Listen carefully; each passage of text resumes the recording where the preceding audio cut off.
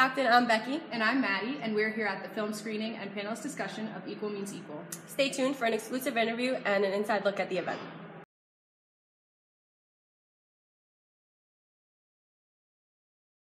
So I had many conversations with her, of helping her understand the law, and then eventually, you know, she filmed me on camera. Um, she came to a con- another conference that I was at, so you'll, you'll see me at times kind of lecturing in the film, and that's why because she was actually there with her camera crew filming me. Um, and then there were a couple of just um, regular interviews that she did with her camera crew of me. It's timely, it's important, it's an important discussion. But for me, what was missing was the fact that for every issue that was talked about in the documentary, there is um, a greater disparity for women of color.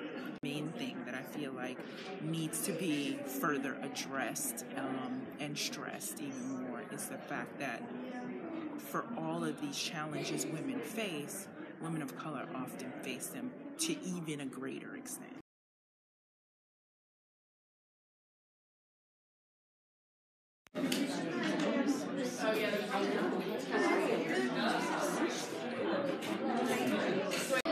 The film was really interesting. I, it covered a lot of topics, but I really wish it kind of did kind of went more in depth in terms of the intersectionality of it, especially with race, sexuality, uh, religion. I'd like to see Stockton implement uh, include more genders and uh, women is maybe more uh, sports that usually aren't thought of as like more feminine sports, like maybe like ice hockey or and yes, it empowered me um, to stand up for women in today's society and to speak up.